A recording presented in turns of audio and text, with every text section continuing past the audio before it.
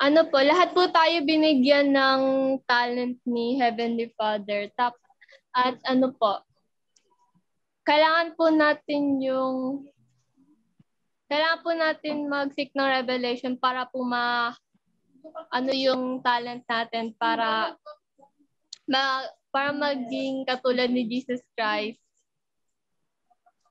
at mag maano yung mundo ng mas maganda.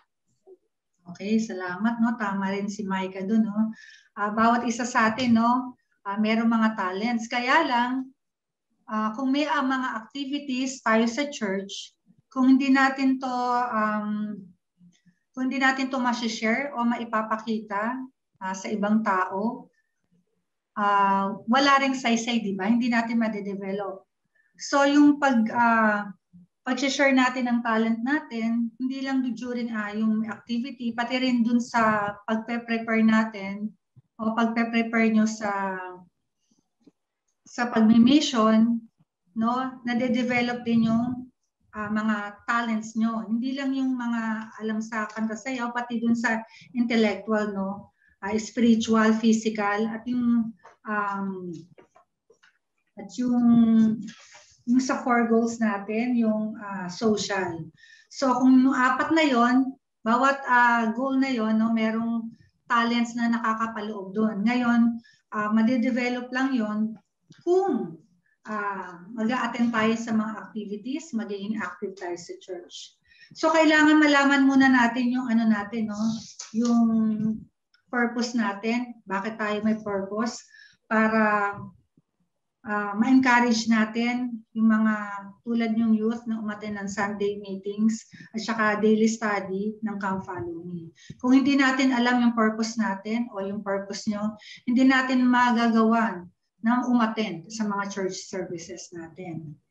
And then, uh, or Sunday meetings natin. And then, ang pangalawa, no, yun yung una. Malaman ng mga youth na, na may purpose kayo. Pangalawa, yung support ng parents. Talagang napaka-importante na to, no? Um, binigyan tayo ng ng Panginoon na ng magulang dahil sila yung primary responsibility for teaching their children. Therefore, as we uh, leaders of the youth, as we strive to teach the youth in the Savior's way, um, our efforts should support the efforts of parents. Kasi kung walang support ng parents, ah, wala. Katulad ng ginagawa namin ngayon no? As new uh, young women press uh, young women presidency ang pinaka uh, in-start namin is to uh, magkaroon kami ng short uh, chat sa mga young women. Kakamustahin sila. Siyempre, yung iba, uh, kailangan namin tanongin din yung magulang kung may time, yung mga anak nila na pwede sila makausap. No? So nasa parents yun, kung hindi susuportahan yung mga bata, paano namin makakausap? No? Kasi hindi naman lahat ng uh, ng bata ay merong gadget. So minsan inaano namin yung mga magulang, no? At bilang uh, leaders, no, uh, we share um share with parents of youth what we are teaching. Ano ba yung tinuturo namin? Ano ba yung mga activities na ginagawa namin? And then uh, counsel them uh, to learn about the needs of the young people and the best way to help meet those needs. Kailangan meron kaming good rapport with the parents ng mga youth. Uh, mag-uusap kami para dun sa ka, magiging uh, makakabuti sa bata para ma-develop as a whole, spiritually, social, intellectual, at physical yung bata, no? yung youth. And then, We can uh, could communicate with parents through messenger katulad ng ginagawa namin and video call or text message. Kung wala yung parents, uh, hindi rin uh, hindi rin namin o magiging mahirap uh, sa isang bata na ma-encourage siya para umattend ng Sunday meetings at magbasa ng daily study ng Come Follow Me. No, napaka-importante talaga ng role ng parents. So, hindi lang uh, parents, pati kami bilang leaders, uh, kailangan namin magkaroon ng communication kasama ang mga bata. Para rin sa school, nagkakaroon ng conference with the with the with the parents kada quarter kung ano bang development, progress ng isang bata. Ganon din ang gagawin namin sa Young Women Organization na every quarter, uh, katulad ng ginagawa namin pag-usap sa inyo, kaming leaders, magkakaroon din kami ng uh, counseling or uh, consultation from the parents kung ano na ba yung development at progress ng bata sa simbahan.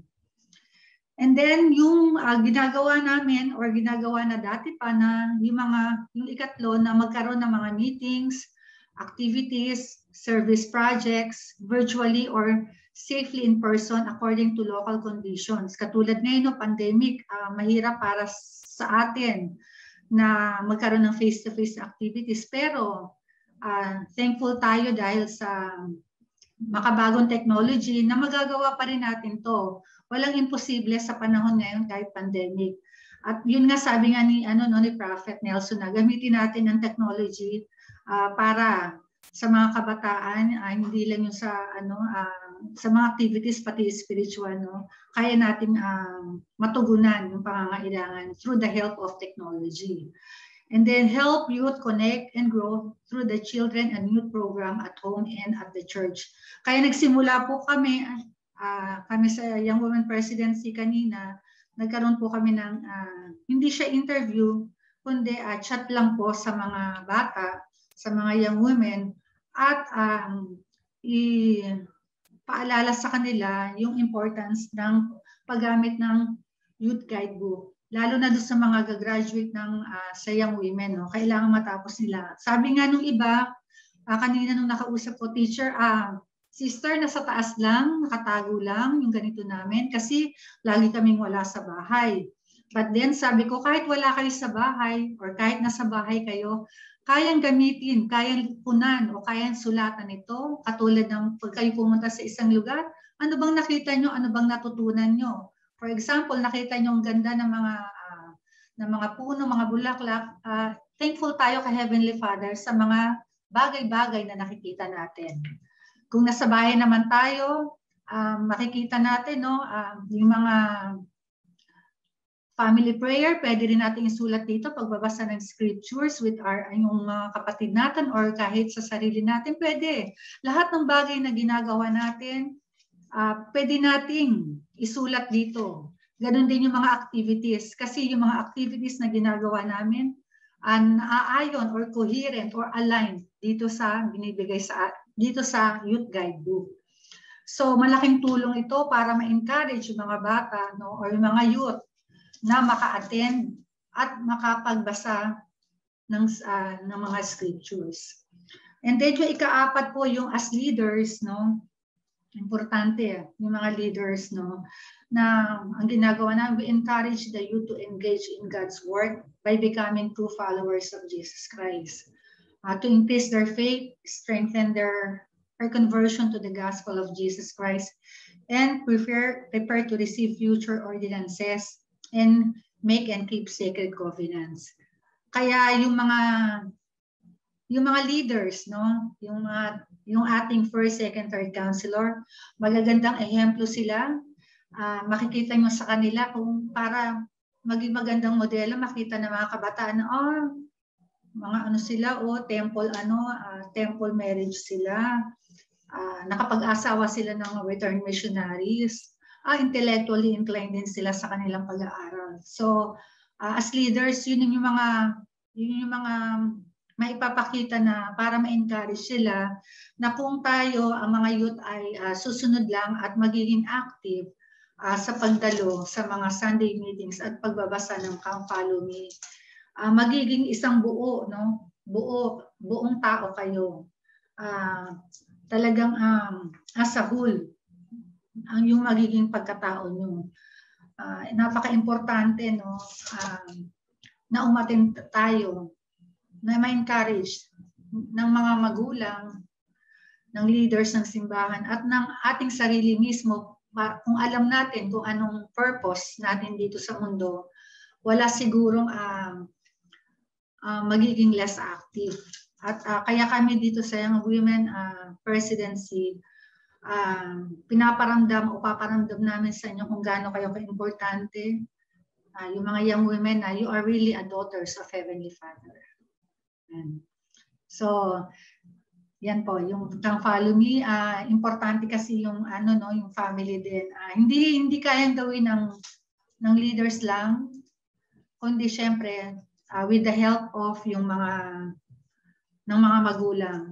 And then I even uh, nakipag-usap din ako sa Relief Society President na every time na merong activity or merong tungkol uh, na gagawin sa mga youth, mga youth um, makikipag-coordinate kami kasi yung mga, most especially yung mga mothers, yung Relief Society, sila talaga yung magiging ano, uh, daan namin para yung mga bata, yung mga youth is um, ma talagang uh, maging active sa church no magawa yung mga yung mga bagay-bagay and uh, we as leaders, yung mga bata, kaya kayo pinapatin ng mga activities ng mga Sunday school kasi piniprepare namin kayo para maging future leaders din.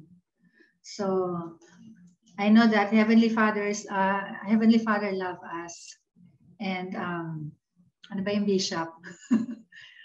Magdadagdag si Bishop, no, tungkol sa sinabi ko, no, uh, kahit uh, hindi lang naman youth ang nahihirapan din, no?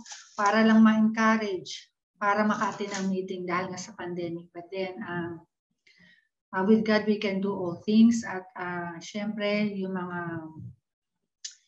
yung mga mga leaders, no, yung support, tsaka yung uh, mag-pray talaga importante. I know na importante na talagang uh, yung mga kabataan na talagang uh, maging ano kayo uh, active sa church, huwag mawawala kasi gagamitin niyo yan in the future. And uh, I know all of these things are true and I live all these things in the name of Jesus Christ. Amen.